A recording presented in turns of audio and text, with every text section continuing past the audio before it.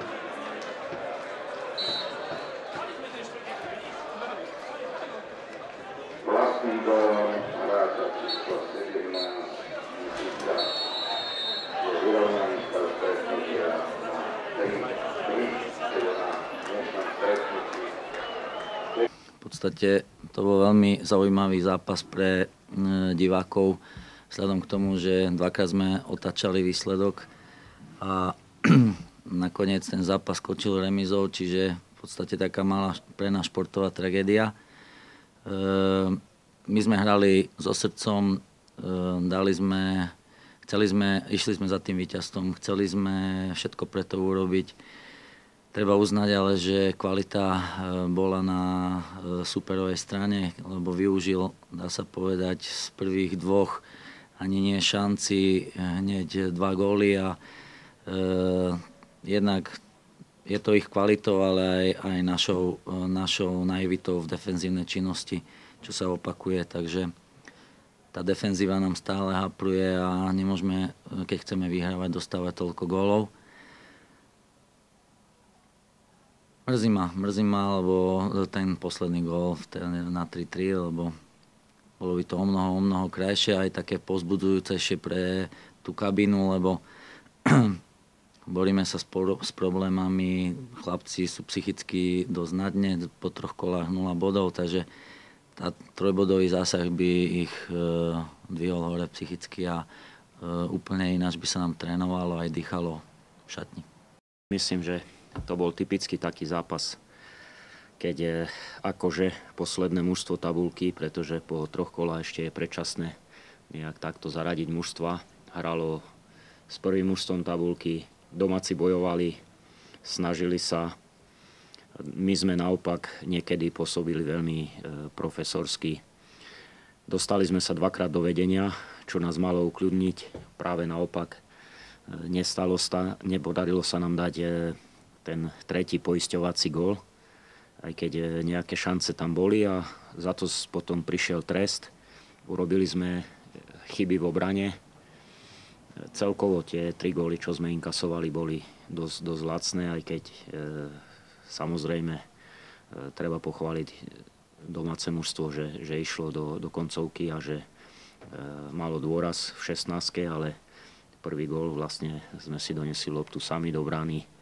Ten druhý, to ešte si musím pozrieť, podľa mňa to nebola penalta. A e, tretí, samozrejme sme, sme chybovali a domáci to využili. To, že zápas skončil 3-3, nakoniec e,